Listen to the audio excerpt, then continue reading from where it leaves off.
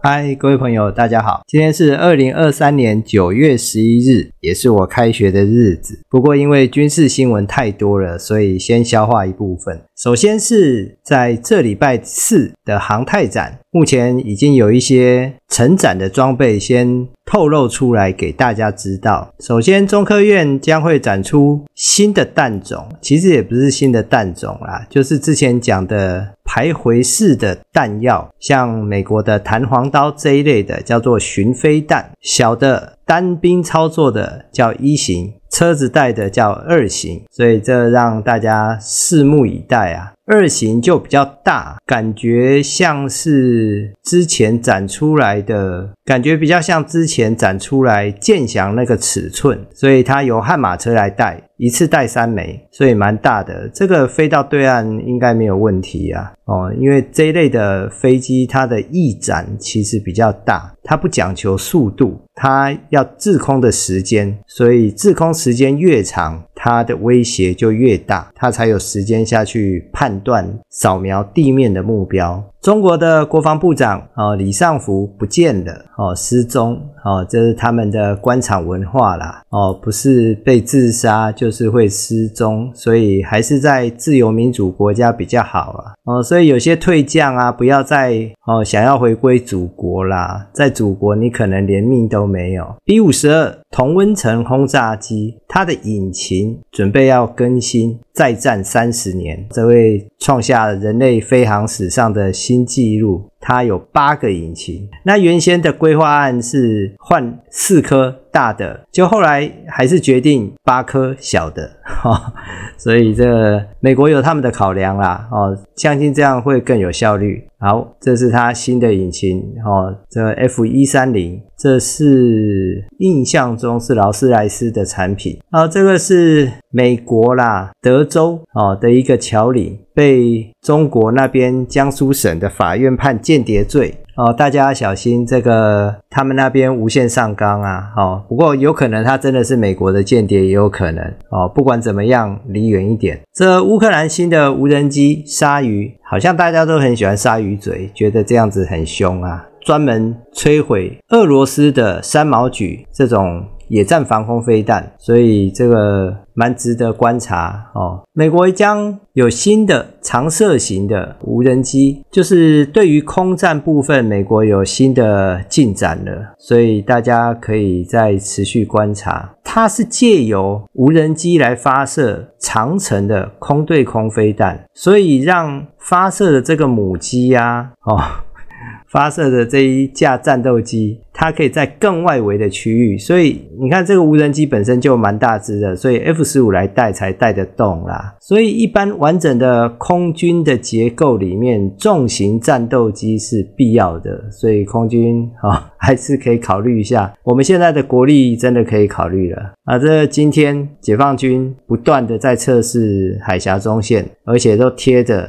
这个中线，很多人就说啊，你不是说不让它过来中线？因为它没有进领空啊，可是我们的飞机，据我知道，今天有大规模的去拦截跟跟监啊，哦，今天出动的架次也非常多。假如没有海峡中线，它干嘛这样飞？所以它就是挑衅啊。单纯就是挑衅哦，我又过来了，我又回去了，这样子哦，他们就是这样。那有别的媒体啦，又开始造假新闻了，说哎，我们有很多的这个对海的雷达，在追踪的时候都随便乱报中国的军舰的位置哦，海军现在出面来驳斥啊，哦，这很多媒体都假借新闻自由乱报一通。那另外有关鱼叉。飞弹的营区，那也是另外有媒体报道说没有建商哦，营造厂敢接，应该不会啦，哦，这只是要住美国人的教官，不可能因为这样子让这个营区变得很难盖。想太多了。好，那今天三山东号在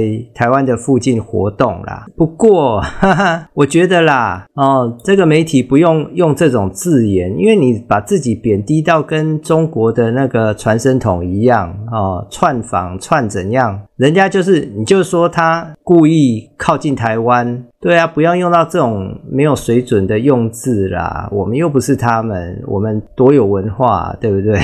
哦，所以没有必要啦。就是说这个山东舰啊，哦，刻意的贴近台湾的周边海域啊，叫大家提高警觉，要感谢国军啊、海空军都前往跟监啊，哦，进行监控，大家放心哦，他不敢太过来啦。只有六十海里，对不对？熊二、熊三都打得到了，其实他们压力也很大，在无线电里面都听得到，他们自己说：“哎，小心哦，我们已经靠近了。”然后明年自愿役的预算员额，因为我们在人员维持费里面有编一个自愿意加急，要编这个自愿意加急的时候，就会算人头嘛。明年自愿意有多少人，这个金额就少了五千多人啊，所以就会有人用这个倒推回去说：难道今年有五千多的自愿役退伍吗？哦，这当然啦，有些军种就是管教很不合理呀。然后放假也一直在传赖啊，交代事情啊，动不动就把人扣回来啊，这个然后把下面的人骂得跟狗一样，那当然很多人就就当然就提早离开呀，所以自己造的业就自己担啊，就会变成这样啦，所以唉。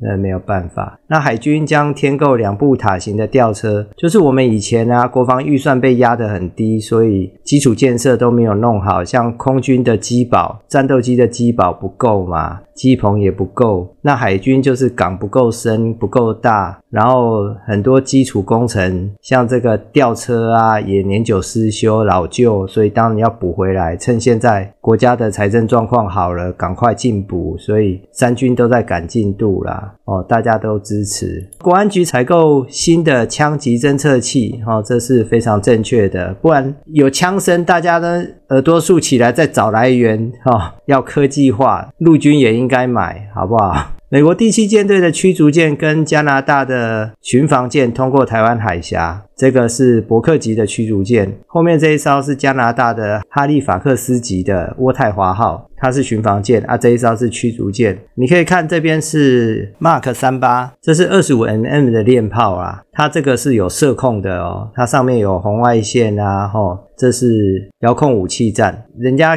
每样东西都要自动化啊，我们就是这部分还要再精进啊，再提升。这个礼拜的航太展，假如你没有申请，你可以礼拜六再去哦。这无人机的厂商很多都会展示他们的成果。玉山舰听说轴承套磨损。那台船表示正在调查，我想现在应该是还在保固啦，所以就让台船他们去弄清楚这个东西是什么。轴承套就是车叶大轴哦，从引擎连接大轴到车叶。可是这个大轴要穿出这个船壳到外面去，这中间会有个套子把它套起来，这个就叫做轴承哦。所以就是大轴的承载的机构啦哦，其实就一个套筒啦哦。那它这个要缝隙非常的小，很密合，然后它有用油冷却的或者水冷却的，就是这个它旋转的时候会摩擦嘛，会震动啊，所以大轴跟这个轴承它会有。摩擦，那如何冷却它啊？又不会水流进来，这就是很高的技术啦。所以太紧它就会磨损嘛，或者怎么样？所以这等台船他们调查的结果就知道了啊。中石做了这个，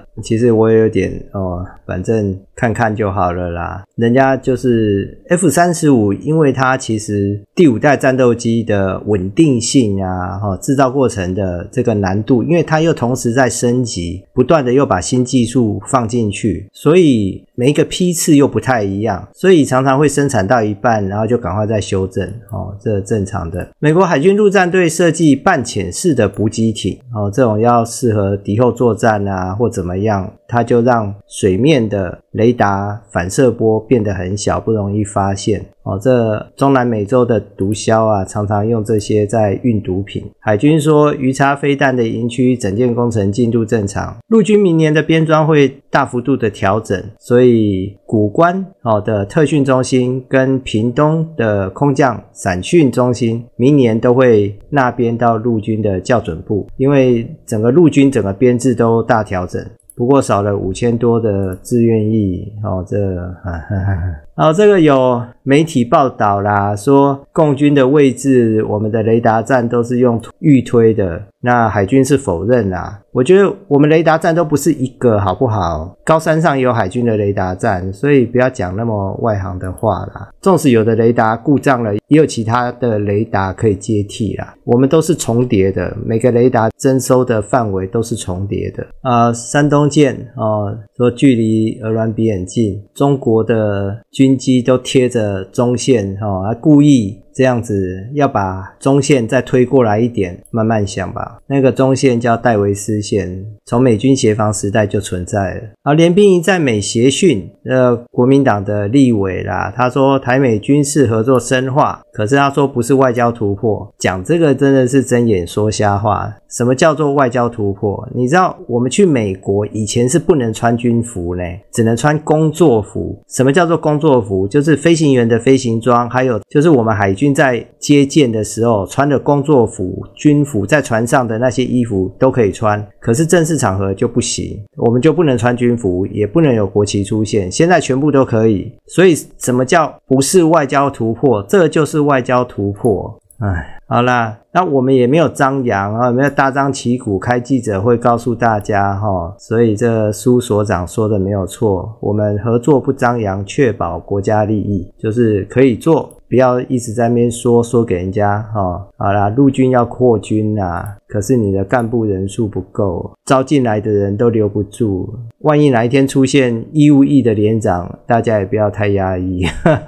好，陆军赴美演训啊，陆军赴美演训保留国旗正常啦，现在应该还不太会有照片给我们看到。假如有一天我们的将领参参加那个。什么太平洋什么会议呀，还有什么陆战队的某些会议哦，什么亚太陆战队会议什么，只要是着军服，那真的是大突破哦！希望有那一天赶快到来。好啦，就现在用义务役来补很多的官额，所以之后会有义务役的军官、义务役的士官哦，班长会有义务役的，然后可能只有连的督导长那些才会是自愿役，因为留不住人呐。就这样，这大家要留意。建翔尺寸是差不多啦，不过会有很多构型啊。建翔算做的不错，建翔这个反辐射的无人机，这个建翔只要放到澎湖啊这边的话，整个呃大陆沿岸的雷达站就要小心了。波兰准备要买新的雷达，它这是 LTAMDS，这个雷达是爱国者的等级在用，可是这个雷达更强化了，因为它是完整的第一层。防空和飞弹防御感测器，为什么说它是完整的？是爱国者只有一面一百二十度，而这个雷达呢，它是三面，它是搭配爱国者防空飞弹来使用的。看这一个就知道，这个是哦，尖端科技平边他们整理的啦。它有三面在那台车子上面，好，这样看你就很清楚了。三面，每一面一百二十度，所以三百六十度的防守区域就完整了。哦，所以这个是用新一代的阵列雷达来做的，所以这个功能非常的强大。好了，我们今天的军文导读，我用最快的速度帮大家浏览一次，感谢大家的聆听，我们下次再见，拜拜。